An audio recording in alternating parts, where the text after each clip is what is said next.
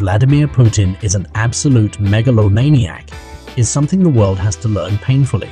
But even before his time, Russia had implemented many completely exaggerated ideas. Therefore, in this video, we want to show you the fierce machines that Russia has built.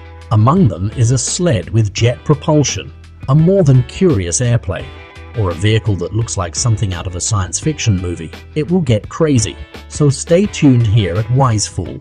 We start with the 2B1 Oka, a self-propelled gun built by Russia in the 1950s.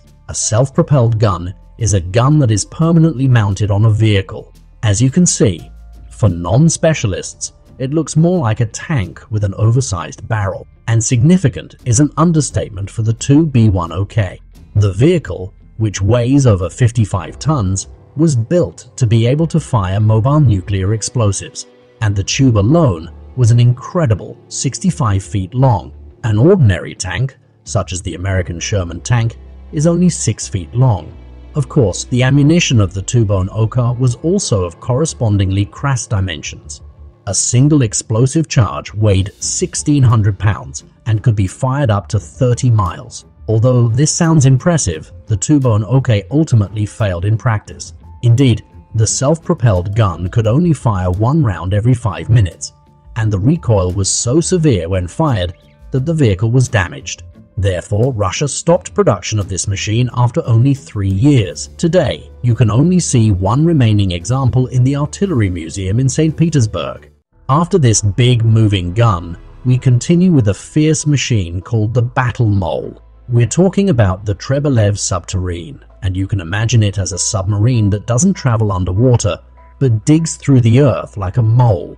After similar vehicles existed in science fiction literature for a long time, Russia started researching whether a combat submarine could be realized in reality in the 1950s at the latest. Finally, in 1964, the time had come, and the Soviet Union presented an operational model powered by a small nuclear reactor on board and seemingly effortlessly drilled through the ground. But that wasn't all. The vehicle was also supposed to be able to travel underwater to a depth of 320 feet, making it usable both underground and in the sea. In a test, the combat mole could travel 10 miles underground at a depth of 32 feet. Afterward, however, the machine exploded and further development of the vehicle was discontinued because of the great danger. After this machine, which was largely forgotten after decades, we now have a fierce machine that Russia developed only recently which is simply impressive. Namely, the Robo-C is a humanoid robot that looks much more human than robots have been known to do. The machine has 29 moving body parts and can not only move its eyebrows or mouth, for example, but also express 600 human emotions. So when Robo-C is angry or sad, it looks authentic. But that's not all, of course. Robo-C speaks 10 languages and has 100,000 stored language modules from which it can form sentences. In the future, it should be possible to configure a Robo-C according to one's wishes with the appropriate gender, age, appearance, and an individual voice and then use it as a household helper, for example. What would you most like to use such a robot for? Write it down in the comments. After this futuristic machine from Russia, we now come to an old invention that seems downright crazy. Under Zveno project, Russia developed a large, heavy bomber aircraft in the 1930s, with mounts for small fighter planes on and under the wings, and in the front. The idea was that the large plane could transport the small planes over long distances, saving them fuel. In the event of an attack, the small planes would then be detached and fly off on their own. Thus, it was virtually a flying aircraft carrier. And even if the whole thing sounds completely crazy, it worked. Project Zveno was successful in tests and could even be used 16 times in combat against Germany in World War II. However, since the large transport aircraft could only fly very slowly, it was also an easy target for the enemy, and therefore the project was later scraped. We show you now that the Zveno project was not Russia's only fierce invention in the field of aircraft. We offer you the so-called Caspian Sea Monster, designed and built between 1964 and 1965. Strictly speaking, this absurd machine is not an airplane, but a so-called ground effect vehicle. This means the vehicle is already flying, but this is only possible at a very low altitude because it needs a floor or water underneath it. The idea behind this was ingenious. Due to the insufficient size, the Caspian Sea Monster, or KM as it was officially called, was not visible to enemy radar when it flew over the sea. It could not be seen by sonar, either since it flew above the water's surface. The gigantic machine was 320 feet long, had a wingspan of 130 feet, and could carry a cargo of up to 550 tons. But anyone who thinks that such a colossus is slow is very much mistaken. The KM could fly up to 300 miles per hour. However, after one aircraft had an accident in 1980, Russia presumably discontinued further development. From a machine that flies just above the surface, we now come to one that travels underwater, namely the K-84 Ekaterinburg, a nuclear-powered submarine built from 1982 onwards. Russia had built various nuclear submarines, but the K-84 was a different ballgame. It was 500 feet long, powered by two nuclear reactors on board, and could carry up to 16 nuclear missiles,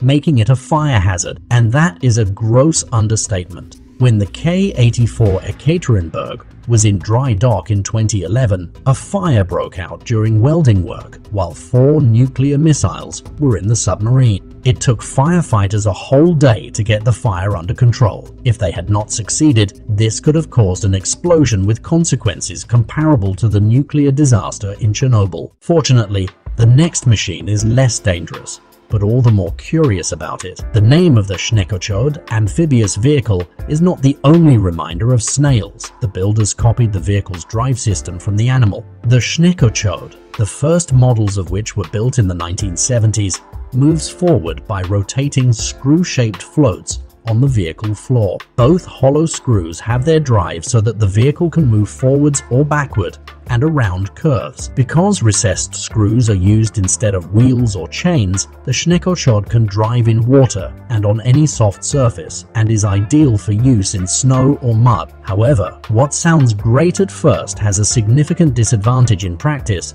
The snail vehicle cannot drive on solid ground, such as roads, because either the screws would spin or tear up the environment. It is, therefore, hardly surprising that this machine has rarely been seen in use. Last but not least, we would like to introduce you to a fierce machine Russia built in 1959, which first makes you think that it's from a comic book and not from reality. What you see here actually existed. This crazy machine is the Sever 2 Aerosled, which was supposed to deliver letters and parcels to remote villages in Russia's north, previously only accessible by dog sleds. The basis for building this machine was a Gaz M20 Pobeda a robust car model from the 1940s. The car was mounted on the skids, and finally the engine of a Yak-12 airplane was added to the rear for propulsion. So the Aerosled was born. The strange-looking vehicle worked, but was soon discontinued because it suffered from severe problems. On the one hand, the vehicle had problems climbing mountain. On the other hand, it could not be steered precisely enough to function reliably on narrow paths and for the transport of packages, it also offered too little storage space, as one had to realize. We hope you enjoyed this look at some of the most powerful machines Russia has built. It's always impressive to see what technology is capable of. Remember to subscribe to the channel to get all new videos and leave a thumbs up if you enjoyed the video. We'll see you in the next episode here at Wisefool.